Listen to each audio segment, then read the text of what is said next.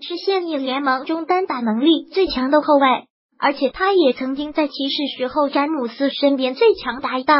凯里·欧文是二零一一年的壮秀，在新秀赛季获得了最佳新秀的奖项。二零一四年选入全明星赛，并获得了全明星赛的 MVP。但是场均二十二点零分、三点四篮板、五点五助攻、一点三抢断的欧文，为什么职业生涯至今为止仅仅就一个最佳三振而已？这几年欧文到底输给了谁呢？这几年的欧文的数据和其他最佳阵容的后卫相比又败在了哪里？我们一起来看一下这几组数据的对比。二零一一到二零一二赛季，在二零一一年以壮身份进入联盟的欧文。拿下了最佳新秀的奖项。二零一一到二零一二赛季，在欧文新秀赛季，可以场均砍下十八点五分加五次篮板、三点七助攻加一点一抢断。但是由于当时的保罗和科比正值巅峰状态，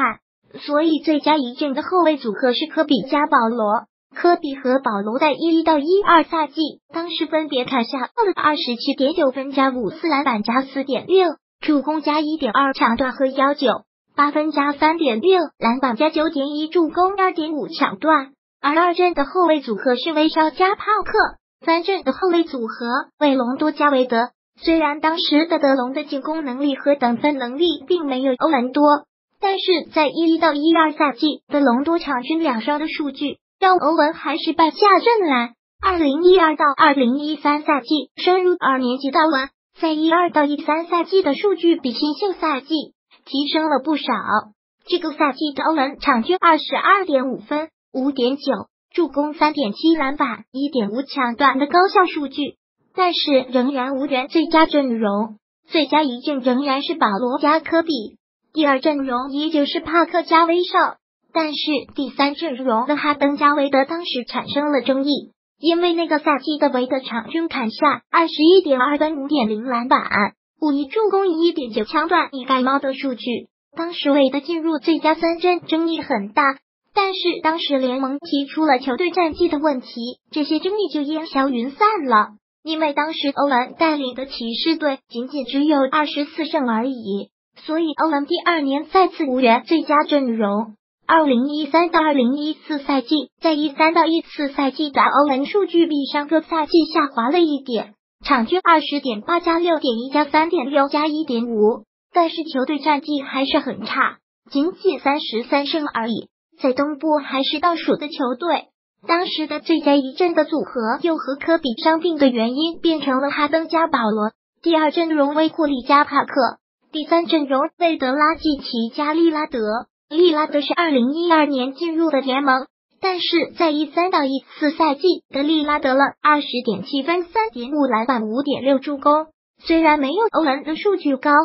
但是利拉德却带队打进了季后赛。而欧文所带领的骑士还是东部云南球队。二零一四到二零一五赛季，一四到一五赛季，詹姆斯回归骑士，带领球队打进了总决赛。而欧文呢，也在詹姆斯的带领下，终于进入了最佳三阵。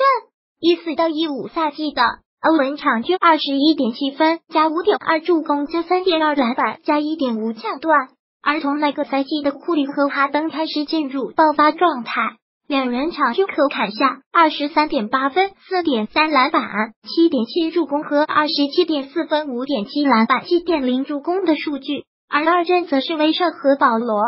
而欧文以这个数据入选最佳三阵，已经可以说是庆幸了。二零一五到二零一六赛季，一五到一六赛季的欧文因为伤病，又一次的无缘最佳阵容。那年他场均砍下十九点六，分别四点七助攻、三篮板、一点一抢断。